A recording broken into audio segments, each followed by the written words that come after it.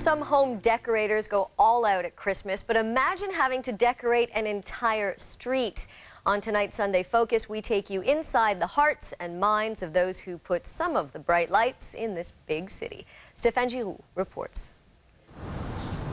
For decades now, McGill College has set the tone for the downtown Christmas spirit.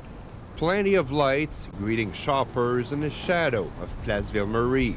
And decorator Jean-Guy Brochu has a simple way of knowing if he did a good job. Tu vois dans son, dans son regard qui est vraiment content. Je pense c'est la plus belle paye que tu peux When you see the glee in people's eyes, it's the kindest compliment, he says. His company, Accès Décor, specializes in Christmas decorations. It's hard to get him to slow down at this time of the year. C'est une business qui est intense là, pour, pendant euh, deux mois. Là, c'est comme, euh, We work 15 hours a day for two months because we must arrive at Christmas at the same time as everyone else.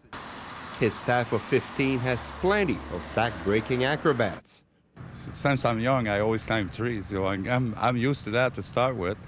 But it also has decorators whose job is to figure out trends, tastes, and the cost. Sylvia Jean moved from France to work for Accès Décor. Maintenant, c'est la lumière qui prend le dessus.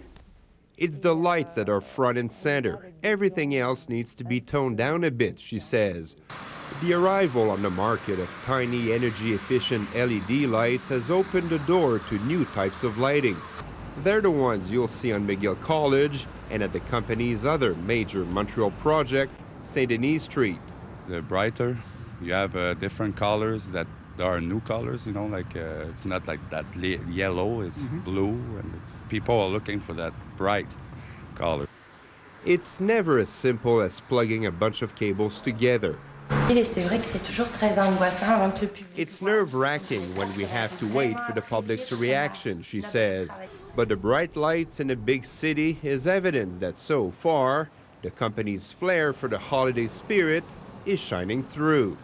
Stéphane Giroux, CTV News. Definitely a fan of Christmas lights. Sports is next. Stay with us.